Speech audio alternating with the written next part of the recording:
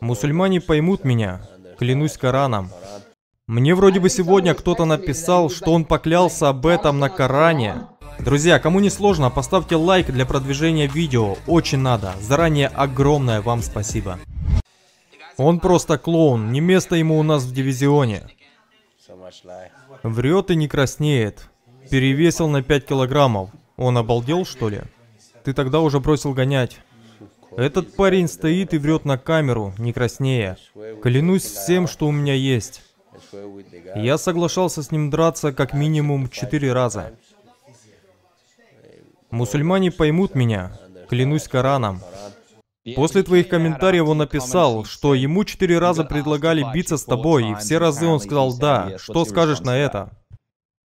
Мне вроде бы сегодня кто-то написал, что он поклялся об этом на Коране. Бро, это максимально низко, клясться на своей религии, при том, что ты лжешь. Это просто дичь, поверить не могу. Можете поговорить с Даной, с Хантером. Я был готов все это время, я рвался подраться с ним и прикончить его хайп. У него нулевой бензобак, у него нулевая выносливость, он бы не выдержал со мной 5 раундов. Вы что, серьезно? Вы видели, что Гилберт сделал с ним за 3 раунда? Только представьте, что кардио-король, лучший полусредний вес на планете, лучший полусредний вес в истории, Колби Ковингтон сделал бы с ним. Я бы стер его порошок, я просто не могу поверить, что он так открыто лжет и говорит, что он готов был биться. Если он был готов, то почему он тогда не страховал титульный поединок в Лондоне? Нет, это был папочка. Это был мужчина Колби Хаус Ковингтон. Так что этот парень больше ничего не стоит, все знают, что он пустое место. Его нельзя воспринимать всерьез, он не профессионал в отличие от меня, я главный профессионал. Он просто обычный камшот, и у этого ублюдка собачья морда, это просто омерзительно крысиная губа. И последнее, Ислам Махачев предложил Леону Эдвардсу биться за титул в полусреднем дивизионе в октябре в Абу-Даби. Какая у тебя была реакция?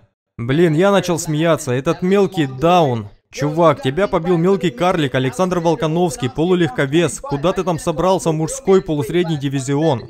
Так что все прекрасно понимают, что он пытался сделать. Это его менеджер, который ведет еще несколько бойцов в этом дивизионе.